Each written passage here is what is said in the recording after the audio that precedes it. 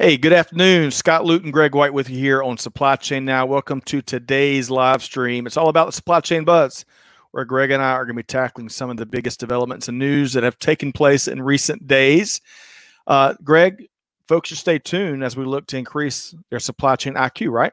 They should. Some of these developments are in recent hours. Uh, I think moving this to noon while it's a little bit later in the day for folks um, across the pond and mm. around the world, um, we get a lot more of the updated, the released today kind of news. So stay Agreed. tuned. Agreed. And it's nice not to be able to not to have to get up at 4 a.m. Eastern. Also that. okay. But hey, to our audience, we're still experimenting with the time frame. So, so feel free to submit your feedback to us and let us yeah. know what you prefer. All right. So, Greg, what we're going to do, as we always do, is talk about this day in history, right? Yeah. And to, that. to do that, let's bring up uh, a little graphic here. Uh, Greg, take a wild guess. What do you think that that contraption does? So, I have a bit of an advantage here because in college, one of my jobs was mowing greens at a golf course. And so that is a reel type mower. Also, my great grandparents made me mow their front yard with a reel type mower. That is a really fancy and advanced one, though. That's right. Well, so what you're looking at, so on this date, May 18th, 1830, Edwin Budding uh, formed wow. an agreement to have his invention, the lawnmower, manufactured. Wow. So uh, get this Budding was an engineer from Eastington, Stroud, in southern England. Had to look that up. Uh, he got the idea for a lawnmower after touring a cloth mill, right, a manufacturing site, and and watching a series of clippers come over to the top of the cloth and kind of uh, take some of the burrs, right, some of the, the, oh. the lesser quality stuff. So this first lawnmower was pushed from behind, but also, if you can tell there, it could be pulled. So I guess maybe if you didn't cut your lawn for a month or two, and you you might you might needed two folks to push it and pull it as it was doing its business. Uh, grass right. clippings, rather than grass clippings like most models are, would be gathered in the back, it was collected on the front end. Um, so I'll tell you what, when I read this article, again, this is May 18th, 1830. Uh, it reminded me of where I spent most of my time on this uh, Snapper rear engine rider, which in the 80s, I was on that thing more off, more oftentimes on Saturdays, right? As a preteen driver, I only hit six trees and took out two cats. So that wasn't too bad, Greg. I got to tell you that it, that it, that is a really stark realization that the real mower was invented in 1830 and my great grandparents were still using one in the 1970s. So not and not nearly this sophisticated and they still exist. The the plain old push kind still exists to this day. Uh, really interesting. I wonder what people did to clip their lawn before that. no, no idea. Goats? Goats? Maybe. All right. So, uh, want to want to say hello to uh, Richard on LinkedIn. Is saying Snapper is the pride of McDonough, Georgia. That's right. They had a big big site there for a number of years. Wow. Um, good stuff there. All right. So let's keep driving. Um, well, first off, Greg, what did you you know when you got your first house, what did you cut the grass with? What model do you remember? First house. Yeah. Um, I, I borrowed my neighbor's lawn boy. Do you remember that brand? I assume it's still out there because my I remember feeling like we were rich when my mother finally bought a lawn boy, which is kind of like the Kirby of lawnmowers. Nice. And um, so I don't recall if we bought a lawn boy, but I remember that we borrowed one for sure. hey, learn something new every day. And hello, Susan Moody, who also joined us on the LinkedIn feed. Uh, all right. So on this day in history, 1953, May 18, 1953, Jackie Cochran became the first female to break the sound barrier. So you take a wild guess uh, in terms of miles per hour. What's the sound? What's breaking the sound barrier require, Greg? Wild 714 guess. miles an hour. Wow, that is a great guess. So, in case you're curious, the speed of sound in dry air at about 68 degrees is 767 miles per hour. Or th- oh, wow, I've been misun- I've been misunderestimating it for years. so, uh, a pioneer of women's aviation and really a great business leader, uh, Jackie Cochran flew an F 86 Sabre 3 on loan from Canada to break the record or break the barrier.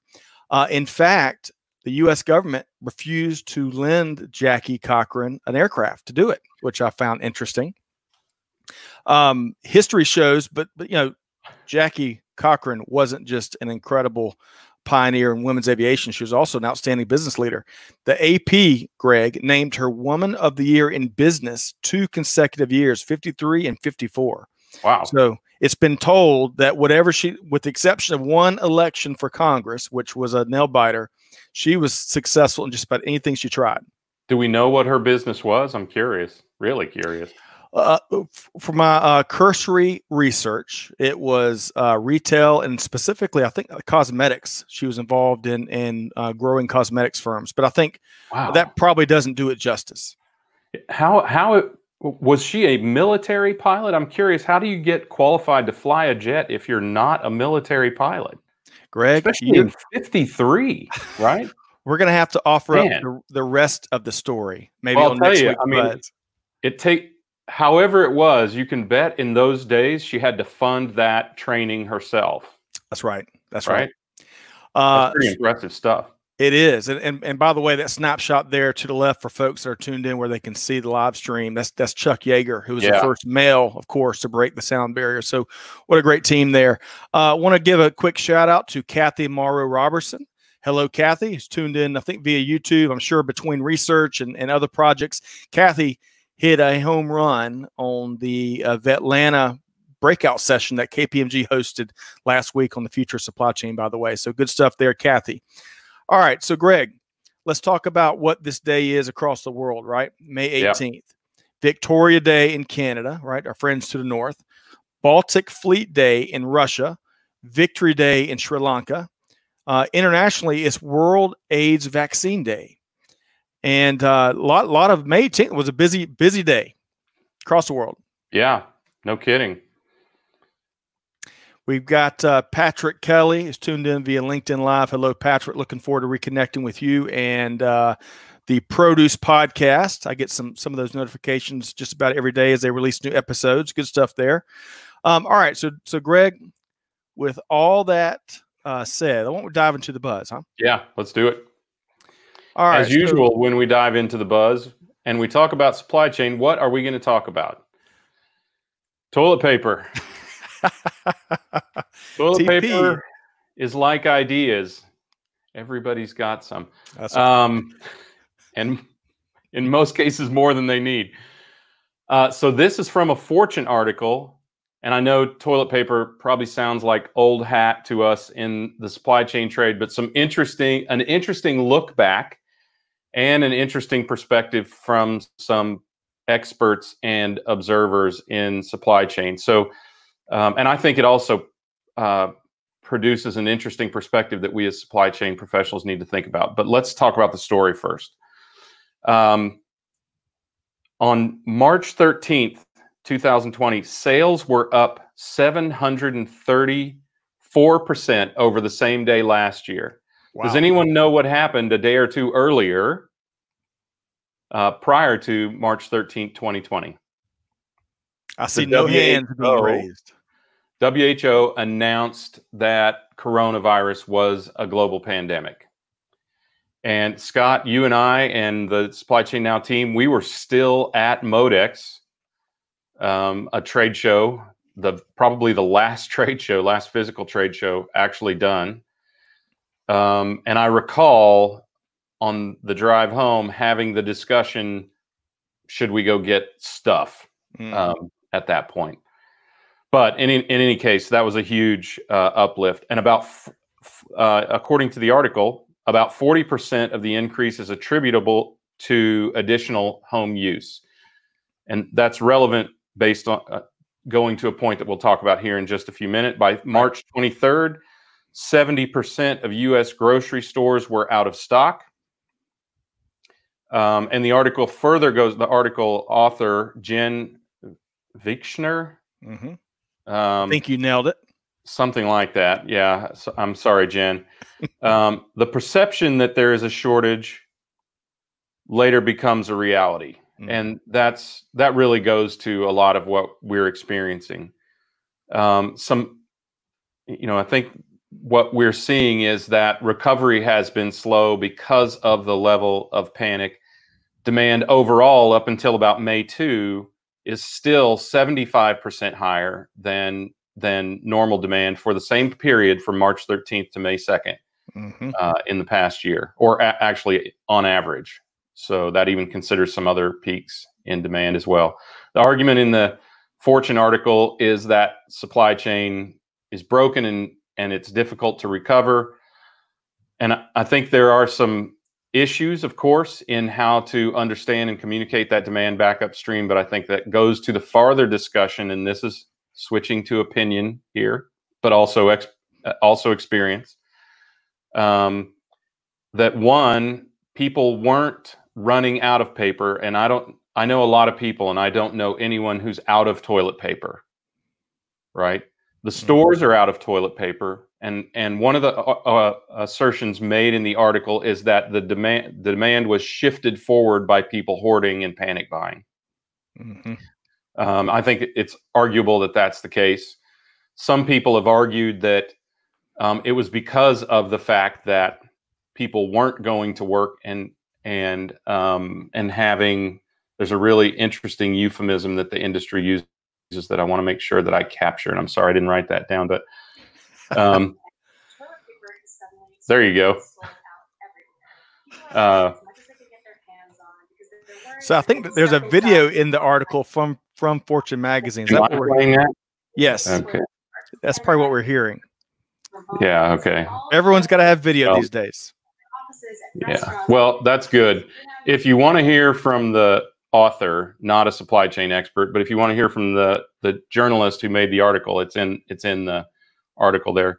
But in any case, um, the uptick in demand is only attributable by about 40% to people being home instead of being in uh, at work in restaurants or out in public elsewhere. So still the demand was significant. And I think this goes to the further point that and this is something we need to really strongly consider as supply chain professionals and that is that the consumer is part of the supply chain. And in fact, the supply chain begins and at this point ends with the consumer. So if we, as we talk about circular economy and we talk about demand, we need to think about the consumer as part of the supply chain.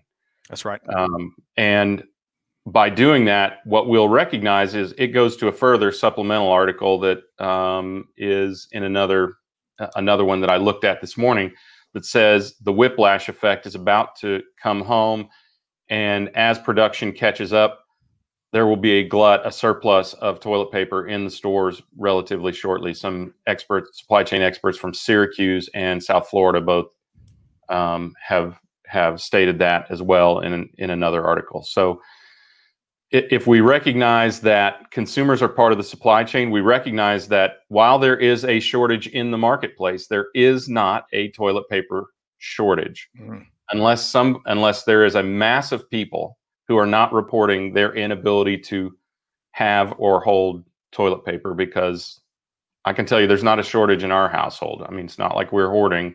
Right. But but it is hard for the supply chain to keep up and catch up right now. Right. Yeah, good stuff there. Um, in fact, you know, uh, Clay, the dog, is one of our quarterbacks. He's behind the scenes, as well as Amanda, our CMO. And, and Amanda just shared with me that uh, while we were at Modex, she had just placed an order for TP to be delivered. So uh, as we were driving home and thinking about supplies, fortunately, our forecast at the Luton residence was dead on the money. So yeah. and we and we refused to hoard. In fact, uh, kidding aside, I think uh, Amanda, it was a month later, maybe three weeks later, before we you know needed to place our, our, our next order, which just enough, right? It, it wasn't multiple packages. We tried not to give in. Um, hey, real quick, want to say hello to uh, Bear 202014, who's tuned in via uh, uh, Twitter, I believe. Also, Benjamin Goldklang, a, a, regular listener here on the Buzz, as, w- as well as one of our fierce competitors on Supply Chain Trivia, which we'll talk about that at yeah, the end right. of today's show. And Muhammad Hassan is tuned in via LinkedIn's Live. So great to have I you. Think also a competitor on trivia. I think you're right. I think I think yeah. uh, you know we, have got a try. On some other shows, I know that it's happening. we have a tribe of tribe of trivia super competitors for sure. Yeah. All sure. right, so let's keep driving here. We're going to dive into the second story. And and Greg, you didn't have anything to say before we leave this first one about the Dallas Cowboys fan in the graphic. I'm I am surprised that we didn't get a Greg White witticism on that. Oh, I'm sorry. I didn't even notice that. You even mentioned that pre-show, and I did not notice that that was a, a Dallas hat. so I know our friend Tevin Taylor. Tevin Taylor, who we've already talked to, so we've already had the chance today to gig him for both for being a Cowboys and an A and M Aggies fan. That's so. right. That's right. All right. So we'll keep driving. Uh, we won't we won't step on any, any of Tevin's toes. Hello to Pierre and Manish, uh, who are both tuned in via LinkedIn as well. All right. So moving right along into our second story. So um, you know, Greg, of course, there's a lot, a lot of talk around reshoring and nearshoring manufacture as a result of the pandemic environment. A lot of moving pieces right. there. Um, you know, however, as you and I both know, and a lot of folks in the supply chain industry understand that it's it's not quite that simple, right? Global supply chain is very complex. So this story here that comes to us from uh, CNN Business uh, sheds some light on one such complex supply chain, and that is generic drugs. So check this out. So for starters, here in the U.S., 90% of all uh, prescriptions are filled by generic drugs, right? And for good reason. The biggest mm-hmm. reason, perhaps, is the average 80 to 85% price break between generic and branded drugs, right? Right. But did you know that one in three generic pills taken by Americans is produced by generic pharma manufacturers in India? Did you know that? I didn't know that.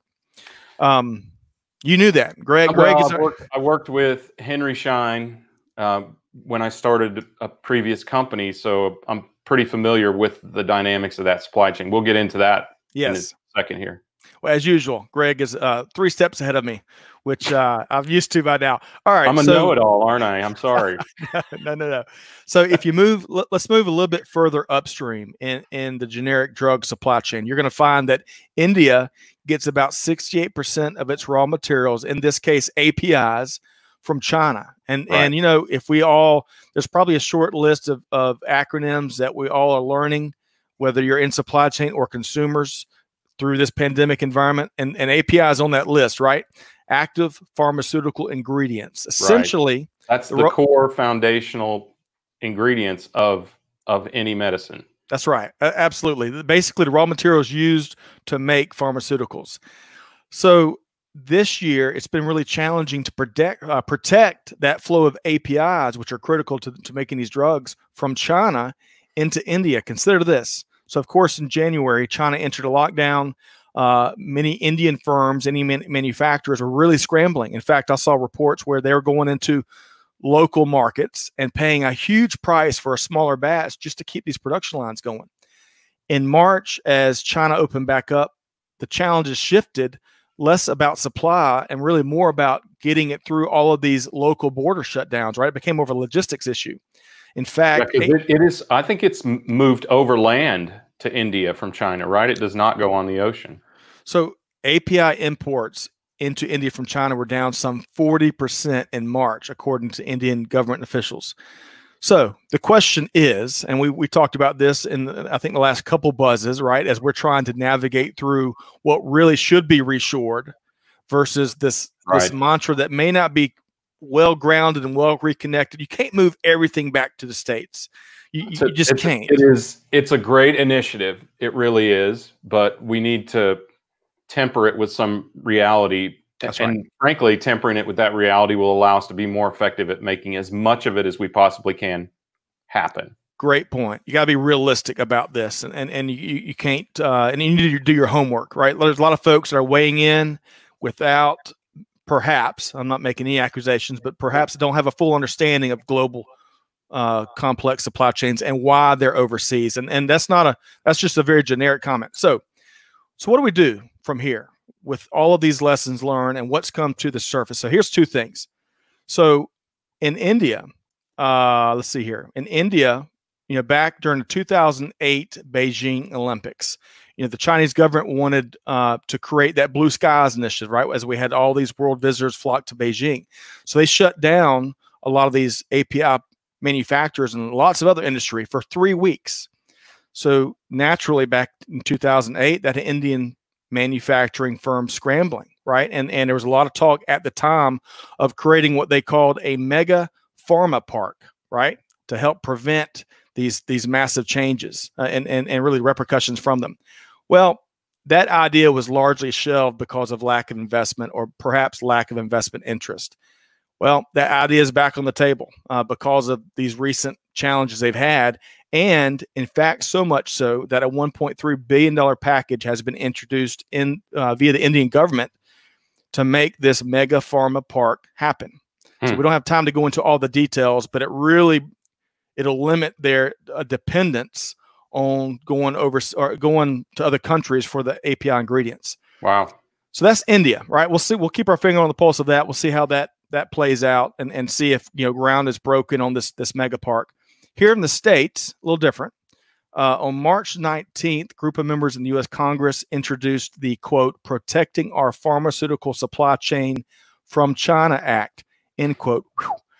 Um, it calls specific, isn't it? yeah. From China. So get this, and take a guess for what year. So it calls for the elimination of API and finished drug purchases from China by what year? Take a wild guess. I just did an article around some of this. I don't recall the I don't recall the specific year, but it's really soon, like 2023 or something yes, ridiculous. You're right. 2023 is less than three years from now. Now, um, that's just about impossible. I mean, let, us just face it. And plus, to your point that you've stated in earlier shows, do you really want the government moving that fast? Because you don't. That's an excellent point. Yeah, that's right. You're not, you're not really sure of all the repercussions, but um, let's say they're successful in 10 years. Let's let's triple that, right? Let's say they're successful in 10 years. I got to ask, what's going to replace the inexpensive drugs that so many Americans rely on that are on fixed incomes? And has that been, you know, what's going to be the the substitute for that? uh, and I, I don't want to sound uh, naive because there's absolutely some things we can do to bring some of these these critical um, uh, uh, drugs back and, and reshore certain elements. But you know, they're one of the biggest reasons why a lot of the, a lot of supply chains are global in nature is because some of the price gains, right, Greg?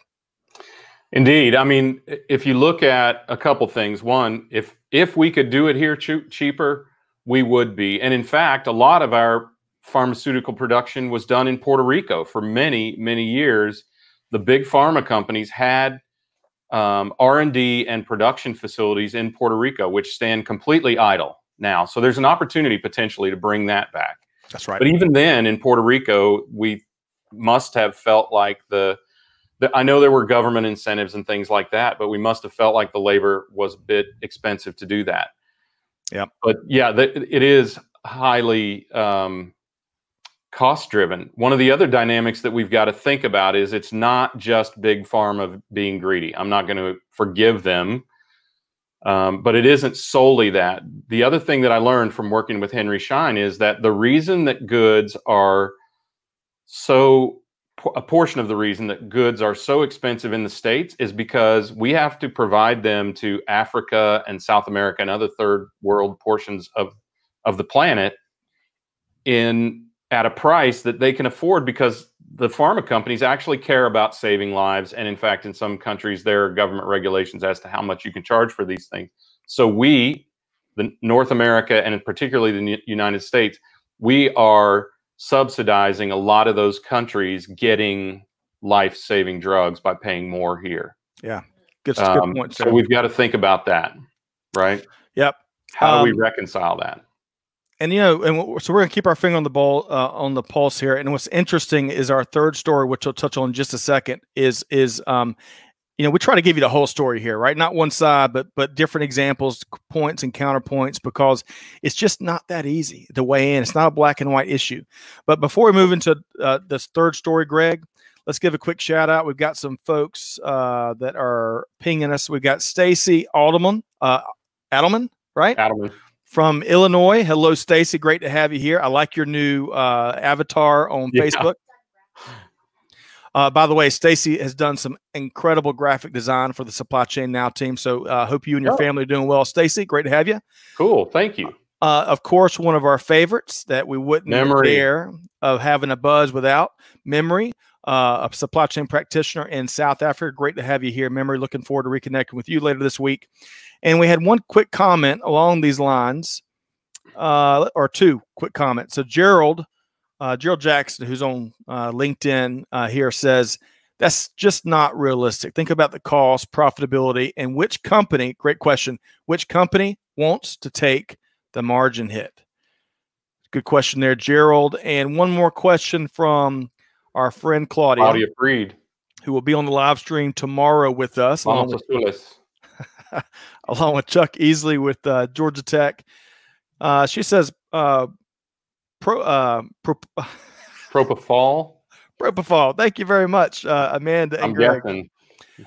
So, this drug supply chain, most complex example of pharma, reports Bureau of Investigative Journalism. So, uh, I guess it, it'll be interesting to see what that very complex global supply chain for propofol, and and and what decisions are made with that, where to change where it's sourced, where to change where you know some of it production's made. I don't, I don't know, Claudia. We'll see.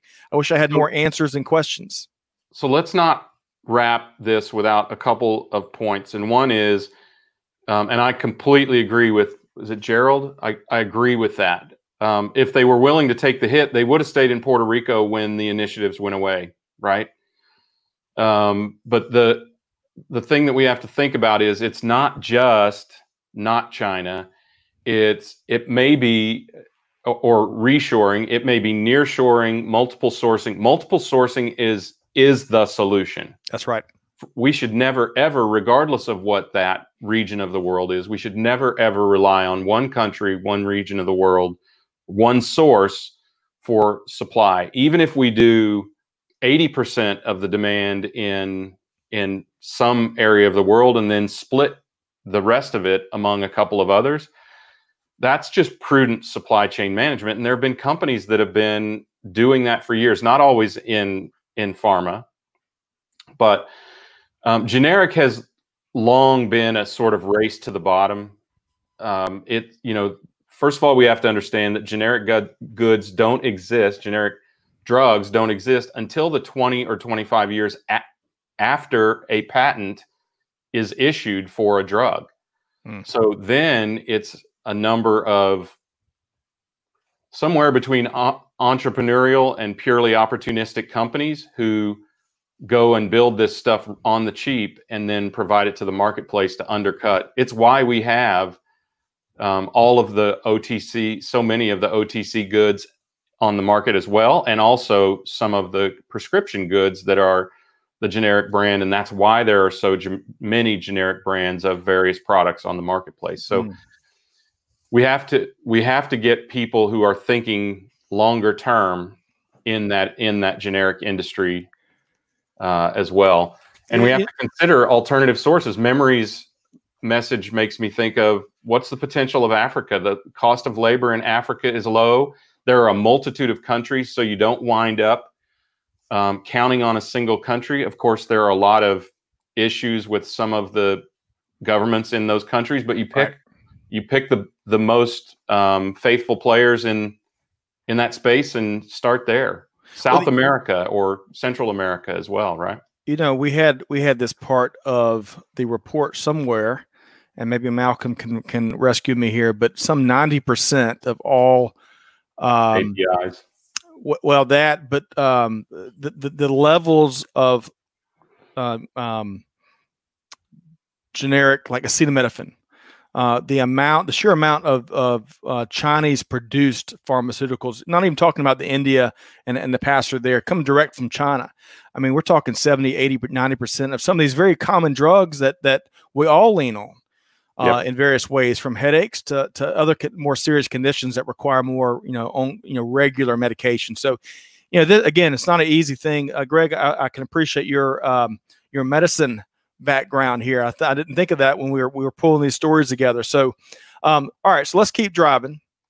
And it said, "Oh, hang on a sec, one more quick." Uh, so Sarath on LinkedIn says it is the best time to change the trend. Very interesting. Uh, we're going to see. and and it will happen. That's I mean, right. It, it, will undoubtedly happen in, in a lot of industries, but this one in particular. And as it turns out, we're about to talk about similar thing in other industries. All right, right, So you've got some interesting data on this uh, manufacturing reshoring uh, yeah. move and, and all the chatter, as well as some some really interesting survey insights related to that topic, right? Yeah. So uh, a Thomas survey uh, of 878 North American manufacturing and industrial sector pros said that 64% of manufacturers are say reshoring is likely after the pandemic.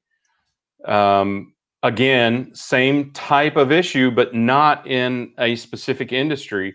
And a lot of companies are uh, they recognize it the differences in um, some of the manufacturing and industrial industries that the the economic dynamics that impact them are again single sourcing not we're not going to belabor that point but also the logistics right and the risk in the supply chain of getting goods from a single source far away where air freight is required to expedite and ocean freight requires uh, larger amounts of, of provisional or safety stock um, because of the 30 to 60 day transit times from your supplier it's a hmm. very complex supply chain. I don't know who's dealt with sourcing into China, but it's unbelievably um, complex and um, you know, and it, it, creates a lot of issues for those companies. So um, a lot of companies are are talking about moving to Mexico, but Mexico has its own difficulties because of various and sundry arguably let's this is the opinion of the industry mismanagement by the Mexican government between drugs and and the uh, epidemic or pandemic itself. Those concerns have have actually played out in the maquiladoras, which, which are the factories just over the border in Mexico that auto parts chains and and auto parts uh, manufacturers have been using for years. So and, and and we should probably think about when, you mention Mexico and and and greater Central America and South America, where they are in their efforts fighting the pandemic are a little bit different than what we're seeing in the states. I was reading an article over um, over the weekend, specifically talking about Brazil and, and Venezuela, uh, as well as some of the some of the um, measures that the Mexican government have instituted related mm-hmm. to the automotive manufacturers and some of the parts coming into those plants and, and coming out to uh, American OEMs. So, gosh, a lot of moving pieces, right? Yeah, and I think again you have to consider nearshoring as well. Uh, um, I, I don't think that Gerald's point is any different in any industry than it is in pharmaceutical. It is that it's difficult to do this and it will take time. I mean, it took time for a lot of this production to go overseas. It seems like it happened overnight, but it didn't. Right. Um, but if we can at least get the goods nearer and in a friendlier, um, in a friendlier country, then we can certainly do it. I mean, uh, Claudia's homeland, Argentina, is has a ton of really talented people. I don't just say that because I've got family there. Um, but they've got a ton of really talented people, and we already offshore or nearshore a lot of tech development to countries like Argentina and Chile. Uh, right. Um, and those are relatively stable democracies, right? Um, so, and and lawful societies. So you you know you want to encourage that and enable entities like that at the same time that you also um, create some sustainability in your supply chain. I, um, I should say sustainable sourcing in your supply mm-hmm. chain, right? You want to make sure that you've got options and that they are more reliable and friendlier options. So, hey, um, I, I want to go back for a second because memory touched on something going back to pharmaceuticals that that you agreed with, where we talked about the potential of not not reshoring, not reshore, not reshoring or nearshoring, but taking advantage of the great workforce in Africa. And memory mm-hmm. says that stable African countries need to be part of the solution to the production of generic drugs. Greg, your take? Absolutely. I mean, what is the draw of China that the average worker makes between ten and fourteen thousand dollars a year? Right. It wouldn't even take that to sustain most countries. Now, memory is in South Africa, which has a more robust economy, but it, but there are other stable countries as she's talking about, and there are also elements of her own population that mm-hmm. could benefit from a, a, wage that is much much lower than that. And and again, we have the opportunity on a massive continent, one of the biggest continents on the planet, to to spread the wealth and and spread the risk across a multitude of countries. I don't know the count, but there are dozens of countries on the continent of Africa. So we wouldn't be reliant on a, on just Kenya or just South Africa or just right. Tanzania. Or, forgive me, whoever else exists. Opportunity for a lot, lot more, Chad. lot more countries. Yeah. That's right. Yeah. All right. So, uh, and I am trying uh, to not bounce around too much on these comments, Greg. But it is there's a lot of opinion and feedback on uh, on, on these two stories that we're talking about. Um, before I read off a couple more comments, Greg, did you have any final remarks on story three here about uh, the reshoring survey? I, I, I don't think so. I think it's you know it's the it's a similar story on a on a different segment of the economy. And well, let me add this one point. I'm sorry, I am bouncing around, so you don't you don't have to take the blame. We have to figure out how to make this economical, right? We all want change, and some of us want to shout into the wind, flail at flail at windmills like Don Quixote uh, um, to make change. But the truth is, what we really need to be working on is what creates economical stability in terms of being able to do that. When we do that, we will solve the problem and not one moment sooner. Great point. It has Excellent to be point. economical all the way from the consumer all the way through the bottom line of a Fortune 500 or 100 company. Yep. All right. So uh, you mentioned Claudia a couple times, a regular uh, live stream uh, participant. She's going to be on as a featured guest tomorrow. We really and and, and she's been featured uh, in Supply Chain Now programming dating back to February when we were there at the Reverse Logistics Association event in right. Vegas. So uh, she weighs in on your comments there about uh, Argentina. she agrees high level of literacy in in the workforce there in Argentina, bilingual uh, and re- bilingual. Sorry, uh, I'm getting corrected here by in studio. Getting corrected uh, in your own language. That's right. Hey, that's not that's that's very common. Very common. Bilingual and reasonable time zones, and we've we've all known about the when you go worldwide and global global how the time zones can can be challenging to deal with. And Claudia also agrees with memory about we've got to make sure that the state that especially the stable countries in Africa uh, and we look for stability anywhere in the world, not just to pick on that on that continent, but they yep. should be part of the solution for sure. So great point there, memory and Claudia. Um, all right, so let's move ahead to uh, Barb. Do you remember Barb? Barb Sexton. Yep. Uh, we had a great follow up conversation with Barb, and she asked a good last question week. last week. That's right. So, and Greg, you may, uh, I'm not terribly familiar with um, the tax uh, uh, penalties that she's referring to, but she's she, Barb asked, "Hey, why the potential tax penalty to Apple if they move to India from China?" You know, I'm not as familiar. I'm not as familiar with that as one of the other vehicles that a lot of big tech, particularly tech companies, use, which is called a double Irish Dutch sandwich. Um, I haven't. it's a new one for me it, it's very complex. The simple version is there are two companies in Ireland. One holds the IP, the other pays basically almost 100% royalty to that company, which alleviates tax to uh, owed to the U.S. government. Then another company in the Netherlands is involved somehow. Maybe even Bermuda is involved, and then the money comes back. There are literally trillions. Um, and just about five years ago, there were about seven trillion dollars waiting to be repatriated to the states, but because of our the highest, I think, uh, I think we're still the highest corporate tax in the world, or one of the mm-hmm. highest corporate taxes. Those companies were imploring the government to do something about it, so that they and they wanted to repatriate that money, but not at a forty percent tax rate. I'm not sure if that's related to this somehow, or if there's another one. Um, there's another tax I'd have to look into that and see if India has some greater tax implications than China. Yep. Maybe Barb can. Maybe we'll. Maybe we should talk to Barb again this week. And that's right. Right. Hey, world trade is the theme for today on the Buzz. Yeah. Uh, going back to, I think Pharma, uh, Roche has been in Africa for a few years now as, as our Kathy friend. Robertson. Yeah. Yep. Yeah. And that's right. I don't know who else, um, but it's not, uh, it's, I, and maybe they're experimenting. I don't know what portion of their production is. I'd be interested to see what Kathy has to say on that. But um, I think that's part of Roche's China plus one or China plus two, whatever strategy yep.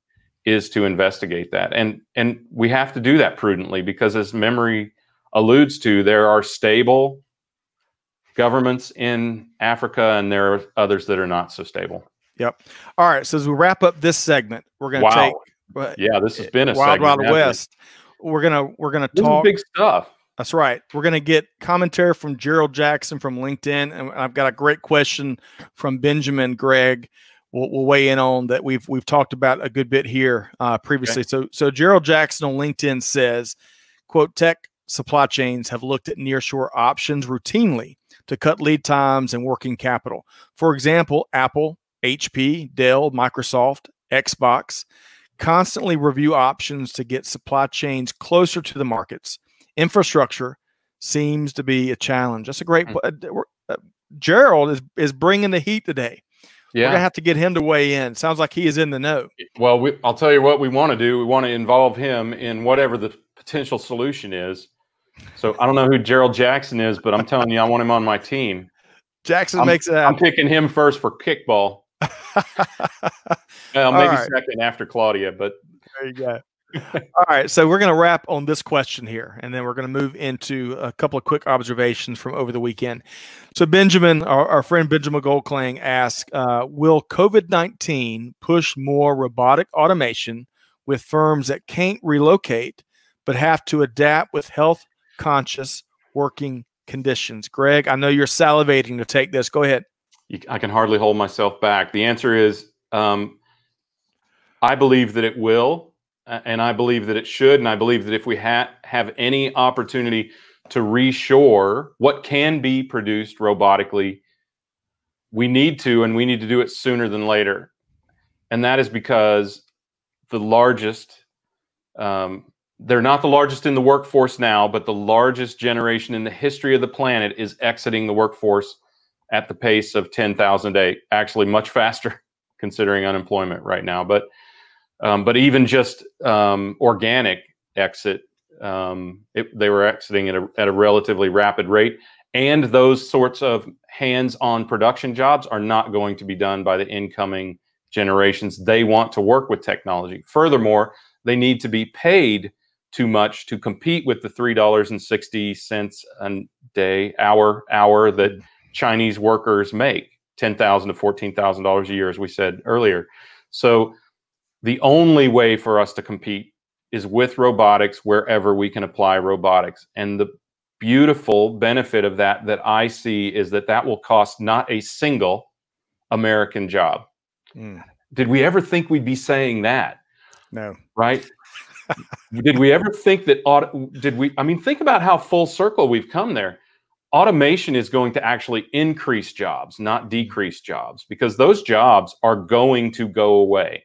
Mm. They're going to go to cheap labor markets like Africa or China, or they're going to come back here as automated jobs and yep. and raise the the well-being, uh, the safety, as was just alluded to, and the the job satisfaction of employees who will be working with monitoring, ma- maintaining, programming, and and interacting with those um, automation technologies rather than doing the physical, menial, repetitive, right, dangerous work that technology will undertake in the future. Yep. All right. So shifting gears, and by the way, Gerald says bring in the heat. He'll take it. He, he liked how we described. He was on the money along with Kathy and Claudia uh, and memory. You know, you know, this is a this is a yeah. very shrewd audience that tunes Benjamin into too. Yeah, Benjamin. That's right. All right. So let's shift gears as we wrap up uh, today's edition, uh, and and we're going to do this at a, at a, higher altitude. You know, I, I am no secret of a fan of the Wall Street Journal's Saturday edition. You know, it's such a great if you like an eclectic mix of news from industry to you know living to uh, investing to human human stories. It's just it's, it's got that it's got something for everybody. So I look forward to getting the hard copy of this every Saturday. So this past weekend, there are three stories that got my attention, but we only have time for two. The third story was was a editorial on Michael Jordan's leadership uh, approach, which was really an interesting story. We'll save for another time. But up for so um, you know the first story that really caught my eye and I really enjoyed reading was the end of the office. And Greg, notice there is no question at the end of that title of this article. Excellent point. So uh, Dana Dana Mattioli and Conrad Putzier do a remarkable job taking a deep dive, you know, really across the industry, speaking with executives that are all determining whether and when to come back to the office, renewing really pricey office space, or considering some really bold shifts into perhaps not coming back. For for example, we talked about this pre-buzz. Mm-hmm. Canadian IT firm OpenText plans to eliminate more than half of its 120 offices globally. Now, that's just one example. They, t- they they spoke in this article. They spoke with manufacturers. They spoke with uh, consultants. They spoke with some of the um, the real estate firms like the Ward 10x Richmonds of the world, right? Mm-hmm. Um, and it's really interesting to see a wide variety of takes. I want to get your take, but I, I, one observation and consideration that I want that I would love to get everyone to kind of weigh in on if you're still with us is think about let's say you're an open text manager or frontline supervisor and the world that you've lived in is is you know coming into the office monday through friday and seeing your employees with that eyeball accountability and being able to to build that personal rapport in person in good times and in bad all the different things that management that goes into management. And then that office goes away and all of those responsibilities are still there but you've got to do it remotely this is going to be a fascinating time uh, to see these organizations that choose to take the path, the path like OpenText evidently does, at least according to the article, and the impact on leadership and management. But Greg, what else are you seeing? Weigh in. Well, you know, in the last company that I ran, we saw a lot of the impact of this coming, and so did lessors um, even before this time frame because they had a lot of what they were really concerned about what they call phantom leases which is pro- properties that are still being paid for but not occupied. And one of the things we were talking about was how do we monitor inactivity in an office to know that when it comes to lease renewal that that's going to go on the market? And, and how do these real estate companies and developers how do they how do they prepare for that? So yeah. it's actually not surprising. I think this is a gigantic catalyst in terms of uh, expediting this exodus from the office. But we started hearing about this as soon as the lockdowns came. That's right. Right. I mean, we heard about physical logistics firms who, you know, when asked, how are you going to bring people back into the office? They said, we are not. Right. And I think we have to acknowledge that this was a trend that was going this way anyway. It is, as you said earlier, Scott, it does give people hours back in their day if they'll take them. One of the issues that we have found during the the pandemic and this seismic societal disruption is that people won't stop working. Right. Some people don't stop working when you know, and they're working till seven or eight o'clock at night. I can tell you this, and, and she's been a really good sport about it. My wife has brought me dinner in the studio more than once in the last week or two. So well, big shout out to Vicky, who Vicky and the whole team, some of the Pistons that keep the supply chain now team moving, and and you know, and all types of contributions. So thanks for feeding the beast, Vicky. well, and yeah, yeah, thank you.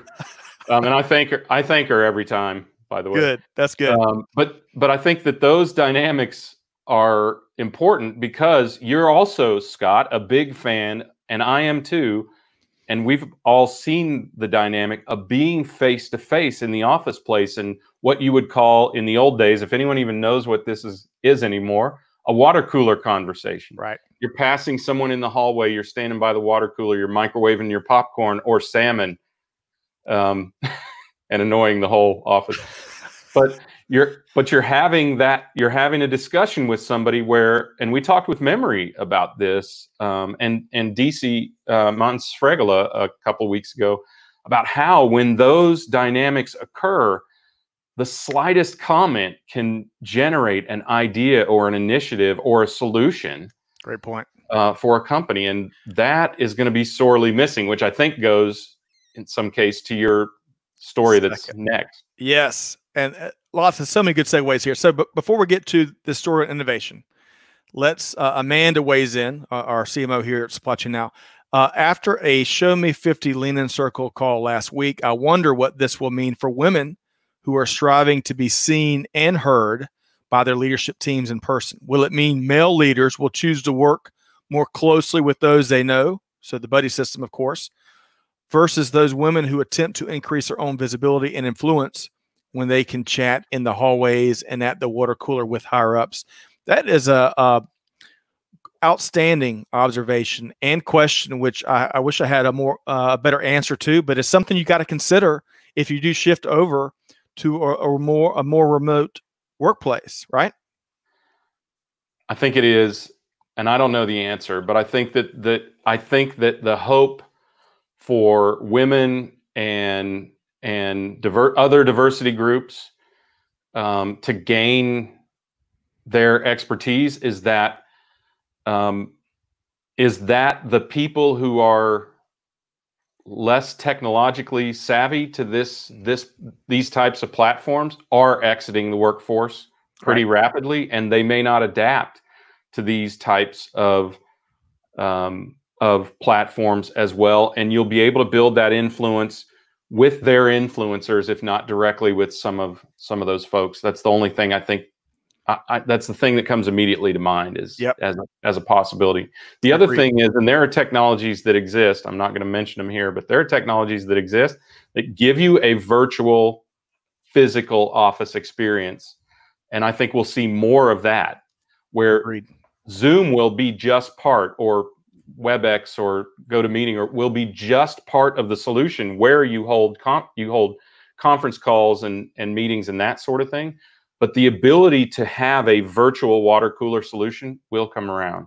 Yeah, love that. Uh, Benjamin says the water cooler is replaced with chat rooms where people can share ideas, just like this comment thread. Benjamin, I love that level of optimism and and companies that are serious about doing that and and very practically and successfully engaging their workforce will figure out the digital water cooler approach. And that leads us to our next question from Gerald. Gerald says, Will it be a strategic advantage for companies to learn to manage remotely with video, cloud metrics, and applications? Be better able to tap into top talent from everywhere, uh, from anywhere and everywhere for that matter.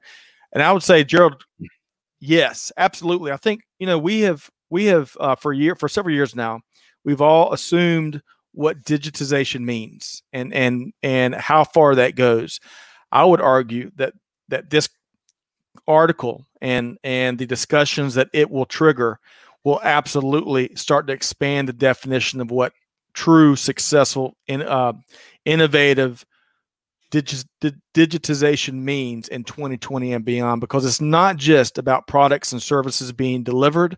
It's not just about visibility into your operation or global enterprise. It is right. about how you are making sure you are an outstanding organization for folks to work in and succeed in and, and and where they feel like they're empowered and they're engaged and they are really contributing and it's being appreciated that's there's a lot to that, but but that's my oh. take, Gerald, on your on your question, Greg.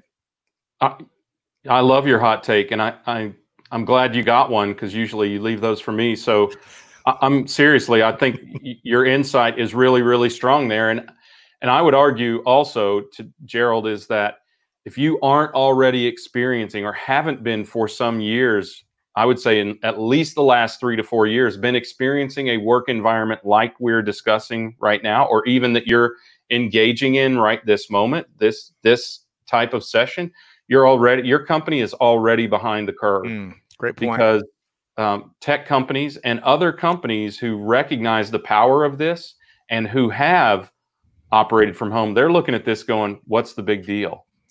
Right. Great I mean, point. I had a company, my last company, Curo, I think we had a total of 11 people and we had people all over the country. I had vice presidents out uh, in various states, um, and and we did make an effort to get physically together, um, but we had to operate three three and a half weeks a month virtually. So it can be done. Um, there are some really key learnings that help facilitate it, um, but uh, it it is definitely the future, and it can be, in my opinion, every bit as productive. Saving that one dynamic, that water cooler, that that you know, sort of whatever you want to call it, that catalyst right statement that you can only get physically, and that's why we made such an effort to get together physically once a week. That's right. All right. So Clay talks more. Great point. Uh, Clay says the dog says here at Supply Chain now. Great point that fully in- integrating remote work vastly expands the talent pool, and you know it is. You, you got to compete for talent. You get your yeah. digitization uh, initiative has to be holistic, which absolutely touches on the talent side. So good stuff there, Clay. Great question, Gerald. All right, we got to keep driving. Remember, we're going to come back to memories comment if we can here in a moment, but you know the end of the office in one article and then talking about innovation can't be forced, but it can be quashed. We're not going to be able to give this second article a really fully throated discussion. But Matt Ridley, this is the author of this second article here I read over the weekend, uh, which challenged a widely held assumption that just because change is taking place at arguably a pace never before seen, a lot of folks assume that innovation and successful real innovation is as well. Well, the hmm. article pointed out just that, that it's not number one and and the leading example that matt ridley led off with was think about your travel time.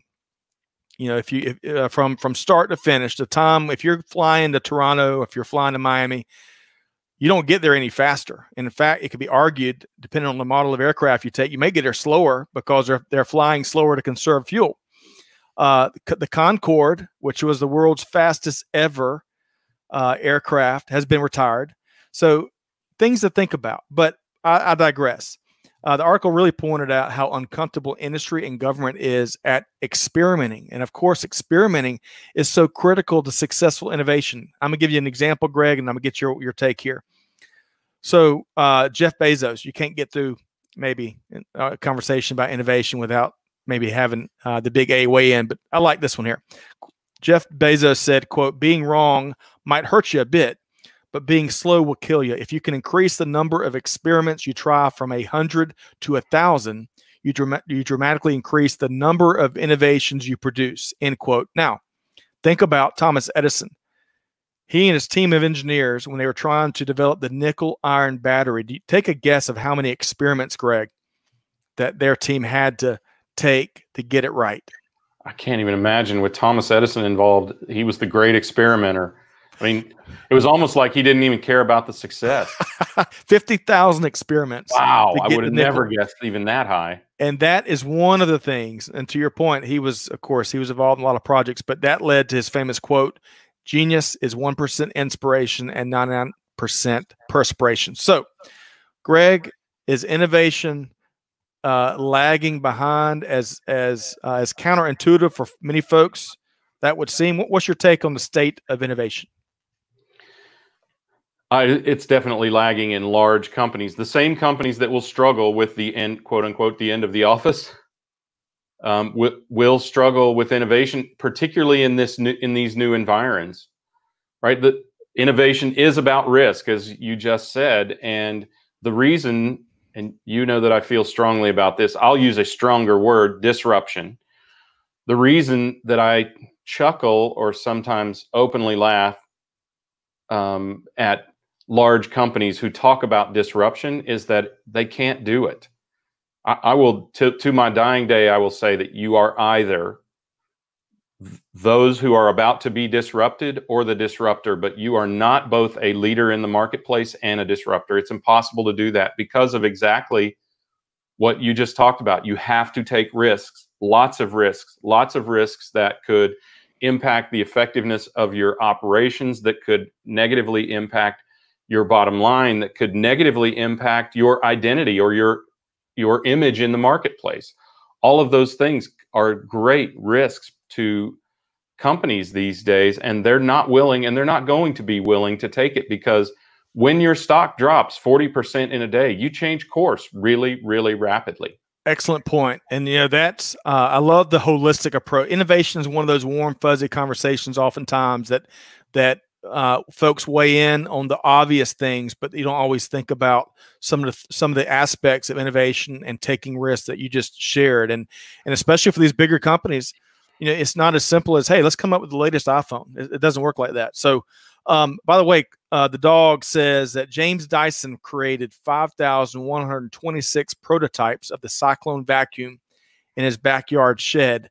The 5,127th edition changed the industry. That is doggedness if I've never seen it. Knowing no pun, James Dyson, no pun intended. he's got all 5,126 still in his somewhere. That's right.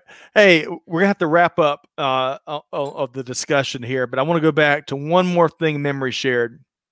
Going back to the offices, virtual offices will also help reduce the amount of paperwork generated in offices, as well as prepping for those long meetings that we don't miss. Amen to that. Raise your hand if you've ever been into a a, a two hour meeting when it could have been done in ten minutes. Yeah, or an email. I mean, you know, I've re- we've recently read articles where that's exactly the feeling that people have is that this could have been done in an email. That's right. Can I can I punt just a few seconds on meetings? Sure.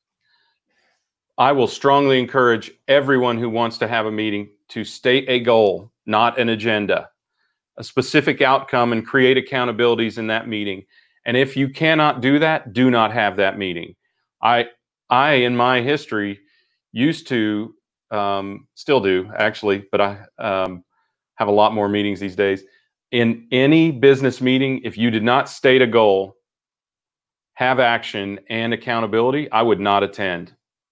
Um, you know, being in my role, that was easier to, to accomplish than most people, but you can tactically challenge your organization to be more effective with meetings. Nobody else is enjoying the meeting. You are you are working on your email in either. So um, make that a diplomatic challenge in your in your business. Uh, and Clay says, "No more meetings. No more meetings." That's what Clay's weighing in on LinkedIn Live. What's that? oh, did he? All right. So, uh, and Amanda over here to to my right says he deleted that really quickly because they've got a standing Monday meeting. So we'll we'll see how we we change that internally. Yeah. No, no we love career limiting moves on the air. No, we, we love our team here at Supply yeah. Chain Now, and we try to streamline it. Okay, but I love the spirit. I mean, that's right. No more terrible meetings. Let's qualify it slightly, but he's dead on, and that's, that's how people feel too. Yeah, that's a great point. All right, so as much fun as we're having, we're at about an hour and two minutes, so we're going to wrap up here with just a couple of high fives uh, and some quick resources. So, Greg, man, what uh, incredible episode two of our supply chain trivia challenge that we held last week. Yeah. Uh, and our new champion is Kobe Canoli, who got uh, every single question right. Wow. That's impressive. And I'm taking that as a personal challenge. That isn't going right. to happen again. Kobe threw down the gauntlet. Yes, he did. Uh, so, new champ there. Congrats. Also, finishing second was Antonio Rivera, part of the EL Green EAL Green team. Yeah. Uh, uh, Claudia's colleague, so representing EAL Green well. So congrats, Antonio. Well, you know what? Antonio and uh, Haride, they finished tied for second. So yeah. technically, this is uh, first place and two uh, folks that tied at second place. So yeah, congrats right. all. Pretty impressive showing. And also, uh, our previous uh, winner, Demetrios Koulas, Mr. Inventory, finished in the top five. That's right dude's like the he's like the Tiger Woods of supply chain. if he ain't winning, he's close, right? That's right. Uh, and he was wearing, I'm sure, his uh, Sunday red Sunday jersey. red. That's right. Yeah. Uh, man, what I what I would pay to see some real live golf with Tiger Woods on Sunday these days. Hopefully, we'll get into the new normal soon enough. Hey, if hey, you can settle for um, if you can settle for Rickie Fowler, by the way, he did a little he did a little uh, charity thing um, the other day, and it I think it's it's on YouTube or Twitter or something like that. Pretty I gotta impressive. have I gotta have the real stuff, man. All Sunday right. afternoon, Masters yeah. going for broke. Right. Uh, but it'll missing be here soon a, enough. Missing a putt and costing yourself a million dollars. yeah. All right. So our next game. So if you if you're digging our uh, supply chain trivia, join us for the third installment. We're really pleased to be collaborating with Jenny Froome and the SAPICS team on June 3rd. We kick off 9:30 a.m. because this is our Eastern Hemisphere edition, right? Uh, we're yeah. trying to uh, experiment with some time frames so that folks really globally can weigh in and enjoy it and, and take part in the friendly competition. Uh, so folks like memory don't have to stay up until all points of the evening to play some of our editions that are, you know, uh, kick off in the late afternoon here. Or so, Day, who was doing it at three o'clock in the morning. His that time. is right. Yeah, that's yeah. right. Uh, so kudos to our winners uh, and to all of our attendees. Join us on on June third, nine thirty a.m. Eastern Daylight Time, as we kick off round three. And you can go to supplychainnowradio.com to learn more about that. And uh, Greg, tell them about this webinar coming up on May 27th, uh, about a, uh, 10 days from now. Yeah, so uh, Gartner's Supply Chain Top 25 for 2020 is about to come out. I believe it comes out on the 18th or 19th, and they'll have a brief discussion on it. But we're meeting with the curator, leader, and um, top analyst, Mike Griswold, on May 27th to discuss some key takeaways. So, as we've been encouraging people, it matters not how big, how small, how advanced, how laggard your company is.